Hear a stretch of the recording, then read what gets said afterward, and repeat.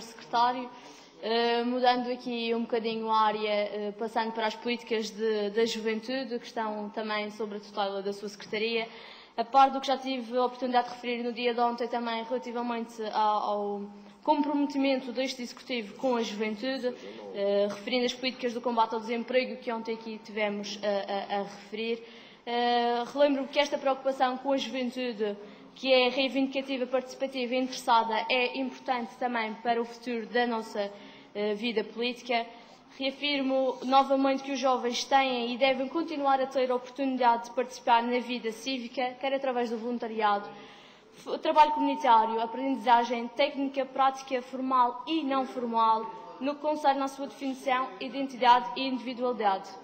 E nesse sentido, Sr. Secretário, no que concerne às políticas da juventude, com todos os constrangimentos que a realização de um orçamento pós-PAEF tem necessariamente de implicar, questionam sobre estas mesmas políticas de juventude contempladas no orçamento.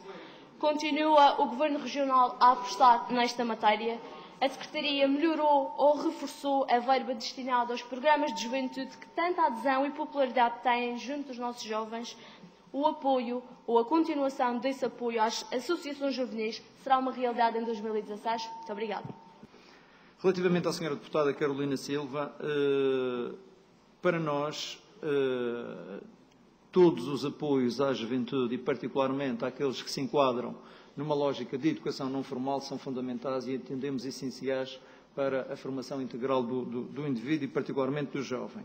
Nesse sentido, nós mantivemos todos os programas juvenis que eh, existiam na Direção Regional de Juventude e Desporto e uh, reforçamos em uh, uh, reforçamos alguns desses programas o, o, o, programa Jovem Informação e o apoio às associações juvenis, portanto, foram reforçados de forma a que possamos, por um lado, abranger mais jovens e, por outro, criar melhores condições de apoio em termos financeiros às associações juvenis. Portanto, é uma área onde procuraremos também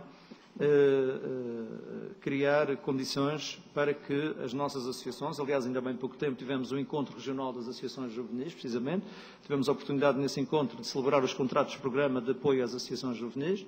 Estamos a falar de milhares de jovens que estão envolvidos nessas associações e procuraremos também criar sempre, ou procurar criar as melhores condições para que possam executar as suas atividades, as associações, os seus planos de atividades, e os jovens poderem também participar nesses mesmos programas.